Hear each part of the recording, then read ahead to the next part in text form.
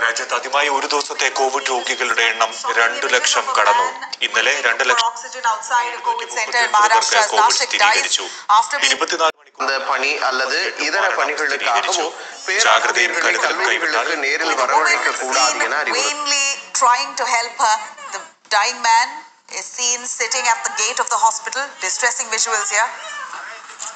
Day by day, we are witnessing a high number of positive cases and death of thousands of people around us due to novel coronavirus. So, it is high time to stay safe.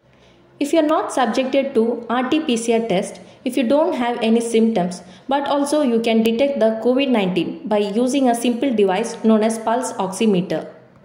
You can measure the oxygen saturation level and pulse rate of a person using this device. In present scenario, many patients might present low oxygen saturation but no significant respiratory illness which may often appear clinically. This condition is known as happy hypoxia. During the second wave of COVID-19, the country is facing oxygen scarcity terribly. Using this pulse oximeter, you can measure the oxygen levels in our blood and if the value is below the normal limits, you can take necessary steps and save a life as early as possible. Pulse oximeter is a very simple device which can be handled by anyone. In current situation, if you keep this device in your home, you can avoid many complications and even a death of a person. Let's see how to use this device. This simple device works with the help of two batteries. Before measuring, ask the patient to rest for 5 minutes. Switch on the device by pressing this white button. It is better to choose dominant hand and middle finger of the patient. If you are using this device for multiple person, please sanitize your fingers and device before each use. Now we have placed the device on the finger.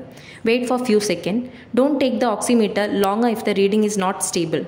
Then record the highest result once it has not changed for 5 seconds. Now you can see the value. The oxygen saturation is 97 and heart rate is 102. The result is absolutely normal. The normal range of oxygen saturation is 94% to 99%. When the value is less than 94%, please seek the medical aid as early as possible.